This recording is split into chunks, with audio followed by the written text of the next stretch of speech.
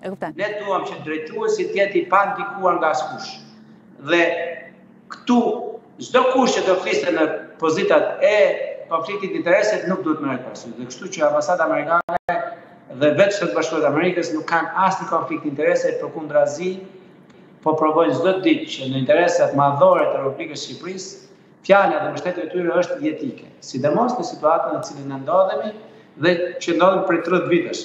Kështu që ne duhet të jemi mirënjohës dhe respektues për rolin dhe mos t'i respektojmë ata vetëm kur ata na sjellin ndihma apo na përkrahin dhe mos marrim rolin e sovranistëve, themi në kuptimin mm. abuziv të gjës, kur duket sikur ata po sepse është kriter i antarësimit në NATO, është pasja e një shteti të së drejtës.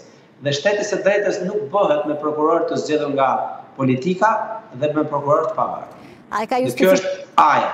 E kuptoj. A e ka justifikuar? Është plotësisht e justifikuar, është jo, jo, është është shteti i cili udhëheq aleancën e NATO-s në mbarë botën dhe praktikisht është demokracia udhëheqëse do thoja gjithë botës qytetëruar që ne kemi dëshirë të bëjmë pjesë. Po.